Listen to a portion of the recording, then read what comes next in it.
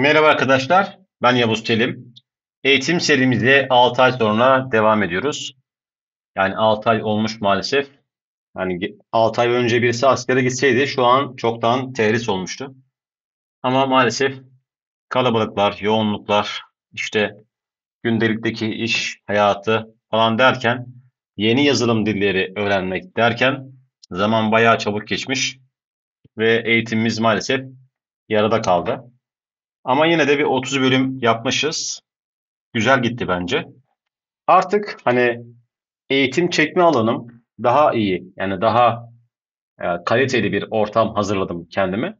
O yüzden eğitimlere ara vermeden devam edeceğim artık. Hatta bu dijital ürün hani eğitim bittikten sonra da böyle sunucu kontrol panelleri hakkında da eğitim çekmek istiyorum.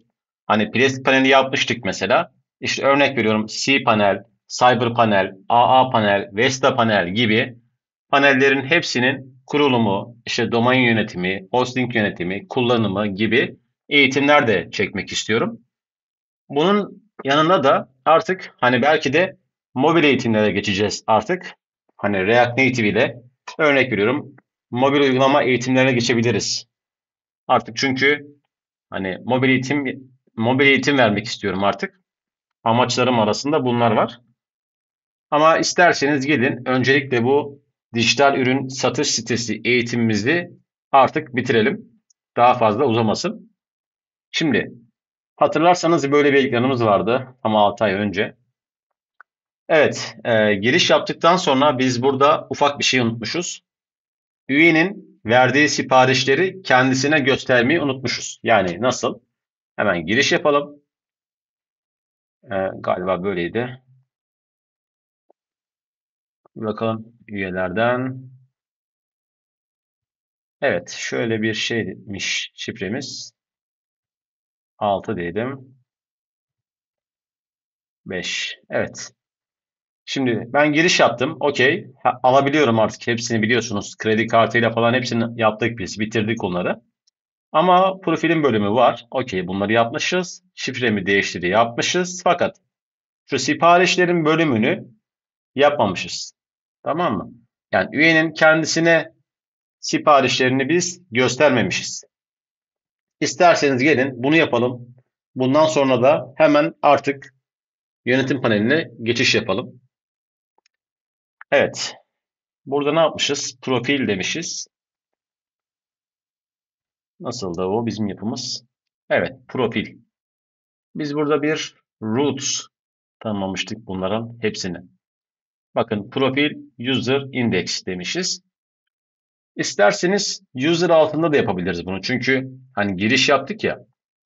Giriş yaptığımız için onların hepsini user altında toplayabiliriz. Yani user orders gibi. O yüzden şu default'un altından profil view adı altındaki link kısmı neredeydi? Siparişlerim. Bakın burada. Orders diye biz bir şey yapmamışızdır değil mi? Root kısmına bakalım bir tekrar. Evet. Yok. Sıfır. Orders bu kalabilir. Peki orders deyince nereye gidecek? Profildeki root kısmını klonlayalım. Orders olsun ve user altındaki orders'a gitsin. Tamam mı? Şimdi şuradayım. Tıklıyorum. Tamam. User altında orders diye bir fonksiyon istiyor bizden. Bakalım. Public function orders kapatabiliriz. Şöyle yapalım. Evet gördüğünüz gibi geldi.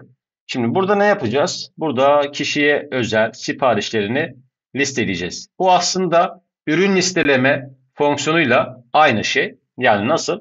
Şurada yazdığımız kodların hepsini products kontrolleri içindeki index gördüğünüz gibi ürünler kısmını alıyorum. Olduğu gibi alıyorum.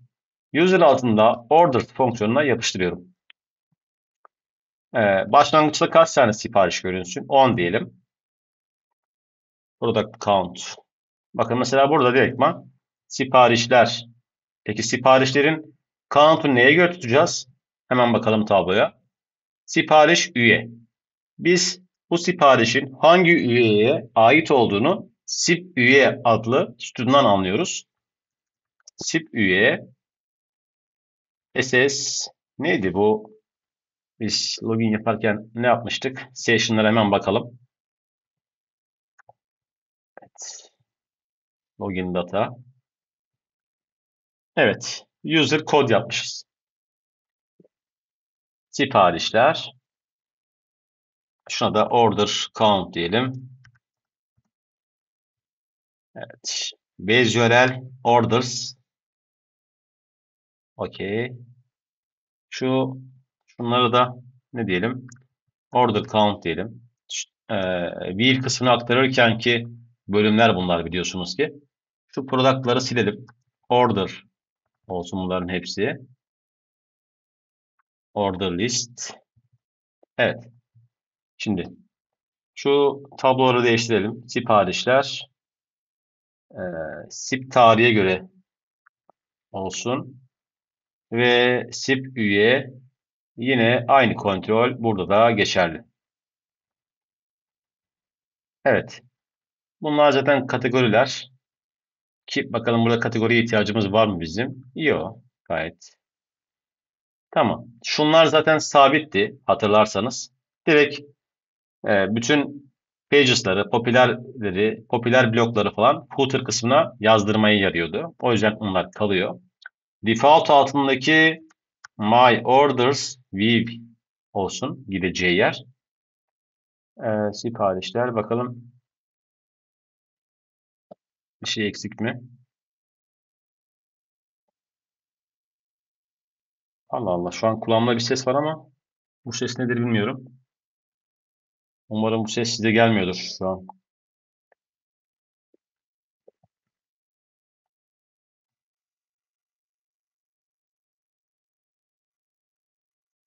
Neyse bir devam edelim bakalım. Evet. Şimdi buradan sayfayı yeniliyorum. Gördüğünüz gibi default altından my orders alt ve view diye bir view'imiz yok diyor bize. Hemen açalım. Oraya bir tablo yer alacak. O da hani profil view kısmı var ya onu klonlayabiliriz. Buradaki şu kısmı, şu form kısmını sileriz ve buraya tablo yaparız. Default altına geliyorum, yapıştırıyorum ve ismine my orders with php yapıyorum. Evet, burası profil değil, siparişlerim olacak. Ana sayfanın altında siparişlerim. Burası breadcrumb kısmı. Evet, siparişlerim. Ee, buraya da ne diyelim? Sipariş listem diyelim hatta. Önemli değil de. Şunu kaldırabiliriz aslında. Şuradaki kısmı form nerede? Form. Evet. Şöyle kaldırabiliriz ya burayı. Şurası yine kalabilir. Burası menü. Orası sabit kalsın. Evet. Siparişlerimin yanına şöyle parantez içerisinde order count diyebilirim. Bakalım nasıl göndermişiz biz onu? User Evet, order count olarak göndermişiz. Ee, burası da order link olacak. Okey. Başka? Tamam.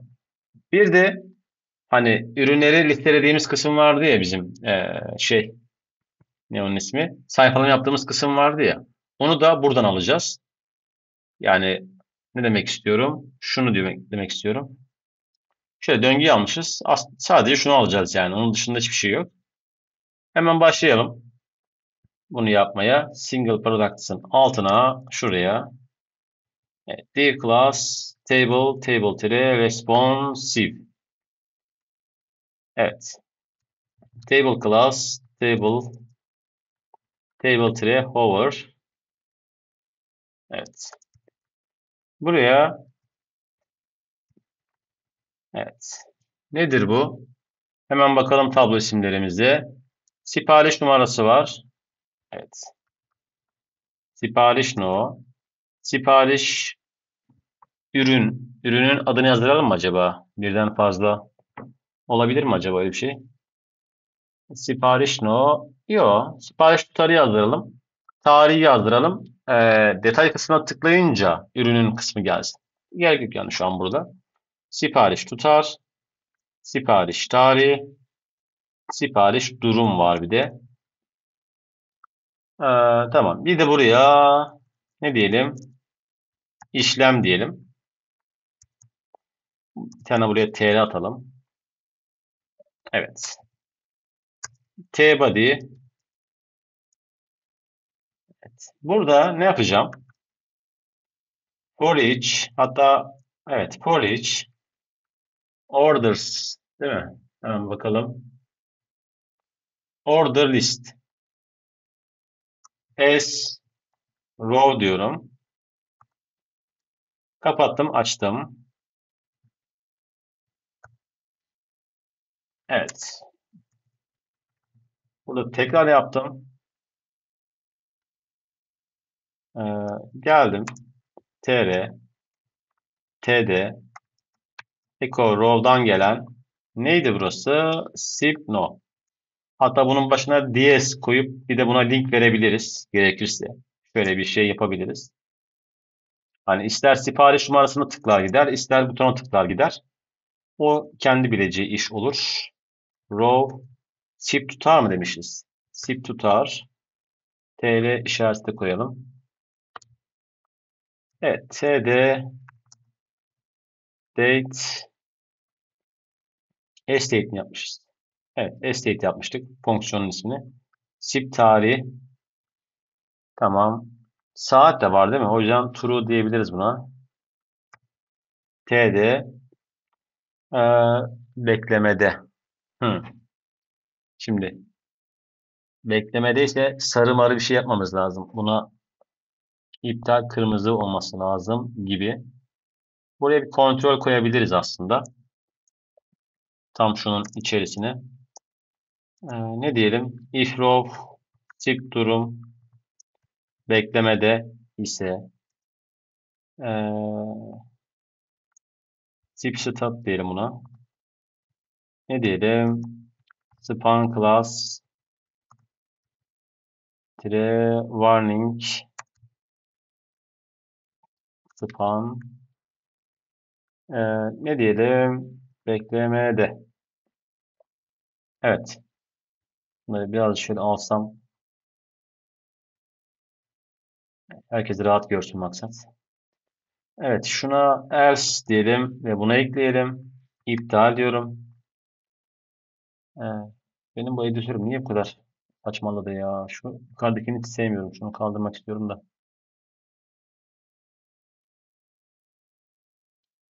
Heh.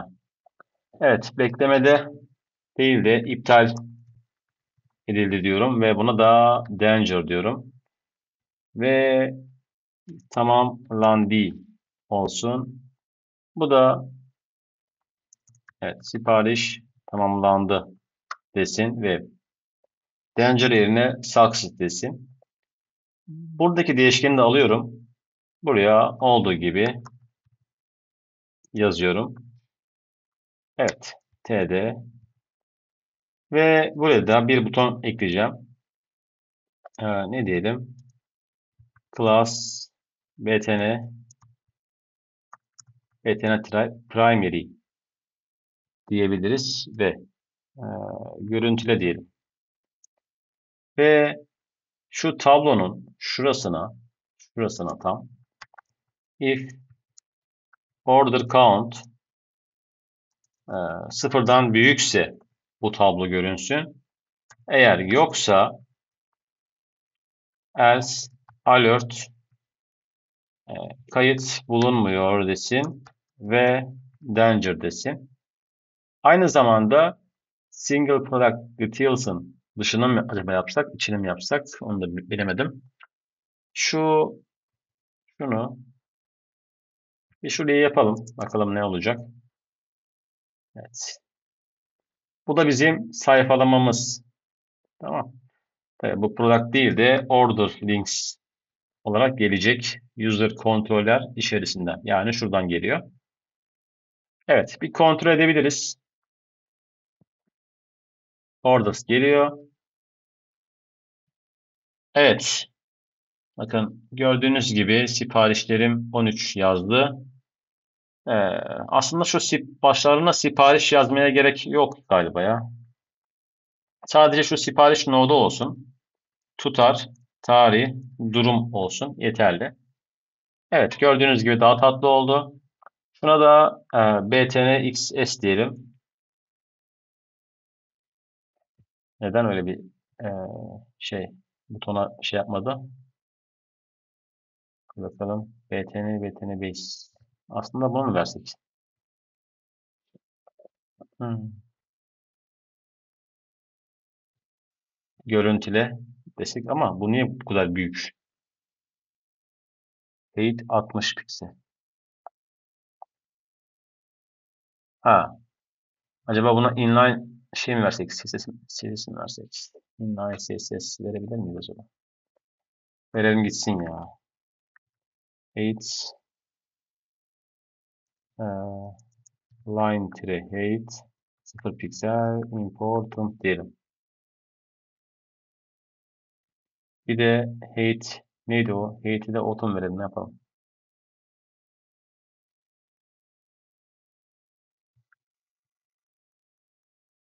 Height 10 piksel desek.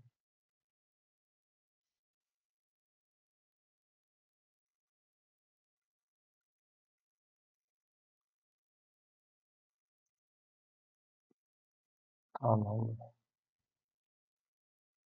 Height 60 piksel mi zaten? 20 piksel.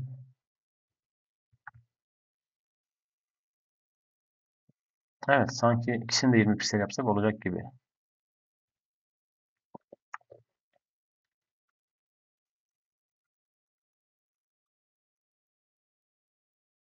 Evet sanki oldu. Tamam. Bakın gayet şu şunu da biraz aşağı yapalım. Şuna bir class verelim. mb-2 verelim. Hatta şunu direktman h4 class'ına verelim. Biraz şunu şunlardan ayırmak istiyorum. mb4 mi versek? Evet. Siparişlerin 13 adet siparişiniz var diyor. Bir de şu sayfalama kısmını da büyük ihtimalle şu div'den sonra alsam daha mı iyi olacak sanki? Ee, tablo içine mi alsam? Stable responsive. Aslında yok gerek kalmaması lazım ya buna. Bir bakalım. Product kısmında başka bir şey yapmış mıyız? Burası neresiymiş? All item section. Ben bunu acaba dışarı alsam daha mı tatlı olur? Şöyle yani şunun da mı dışına alsam acaba? Single product detail var ya. Şu divin dışına mı alsam? Az önce oradaydı zaten değil mi? Ben ne yapıyorum şu an yani? Yes. Böyle daha iyi sanki. Evet en azından karmaşık görünmüyor. Tamam. Gördüğünüz gibi sipariş numarası var. Sipariş tutarı, tarihi ve gördüğünüz gibi durumlarını da yazdırdık. Sayfaya bakalım. Orders 2. Al şimdi gel bununla uğraş. Bu da nedir? Route ile ilgili bir kısım. Evet. Şuradaki order ha, products. Evet. Şunun aynısını alacağız. Orders num user orders diyebiliriz buna da diye düşünüyorum. Evet, ikinci sayfadayım. Aa, ha, siparişler profile geliyorum. Gördüğünüz gibi siparişler orders 2 diyorum. İkinci sayfadayım. Birinci sayfadayım. Gayet güzel. Evet, isterseniz gelin şunlara da link yerini verelim. Sonrasında sipariş detayını da diğer videoya bırakalım. Hemen e, fazla uzamasın çünkü. Şu an kaç dakika olmuş bir bakalım. 20 dakika olmuş. Evet, isterseniz gelin linkleri de verelim. My Orders View'in altındaki kısma geliyorum. AHR var ya şurası. Evet, şunla şuna aynı linki verelim. Echo base URL Ee, şöyle yaptık. Nedir burası? User altında order detail diyelim. User altında order detail altında nokta row sip no dedik. Evet. Hatta direktman order detail diyebiliriz. Çünkü e, ne yapacağız? Bunu da root'tan tanımlayacağız sonuçta. Evet. Bakın altta gördüğünüz gibi tıklıyorum. Gördüğünüz gibi order detail e, kontrollerinin altında sipariş numarasını gönderiyor. Orada ne yapacağız? Bu sipariş numarası ve hangi üye giriş yaptıysa bunları eşitleyeceğiz. Eğer bu sipariş numarası giriş yapan üyeye aitse siparişin içeriğini göstereceğiz. Ve bu kısım tamamıyla bitmiş olacak. Evet. Bence gayet tatlı görünüyor. Evet. Bu videomuz burada bitiyor. Sonraki videoda hemen geri kalan işlemleri de yapıp bir an önce admin paneline geçmek istiyorum. Kendinize iyi bakın. Hoşça kalın. Ve lütfen beni takipte kalmayı unutmayın. Görüşmek üzere.